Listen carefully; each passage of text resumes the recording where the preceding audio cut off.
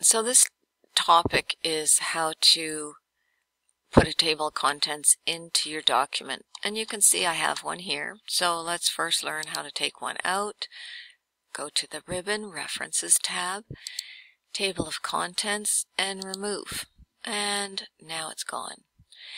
Now the first thing is you need to know that if you have not applied headings to your main titles and subtitles that this will not work. It needs heading ones. I have heading twos. I've called, I'm going to call this miscellaneous tasks part one.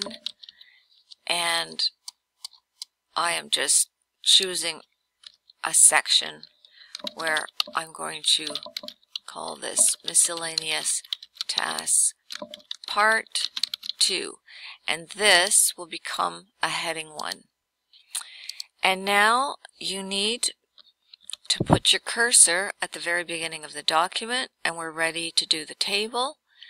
Click References tab, click Table of Contents, and I like this one better. I like it to say Table of Contents. So just click it, and then when you scroll up, uh, this a little bit long. I'm probably going to force this to a new page, but let's just keep it there. Scroll up. Here's the table of contents. You can see that the heading 1s are indented a little bit differently than the heading 2 items. And this can be used to hyperlink to a section. So if you want to go read split the document. You can click the control key. It turns the cursor into a hyperlink and then just click there and it will take you right to split the document. And just so you know, if if you were working with these a lot and you didn't want to have to press the control key each time, there is a way over in options uh, in the advanced in the right here, use control plus click to follow hyperlink. If you take that off, you would not have to do that every time. Now, let's say that uh, this one here, new, that's right at the end. Let's say we decide we don't want that. So let's hyperlink down to the very bottom, and we'll take that out. And when we come back, here, you can see that it's still there, and that's just because we have not done an update of the table. As soon as you click update, it will redo the table of contents for you. Now sometimes you will get an extra message. So I'm going to just add that back in.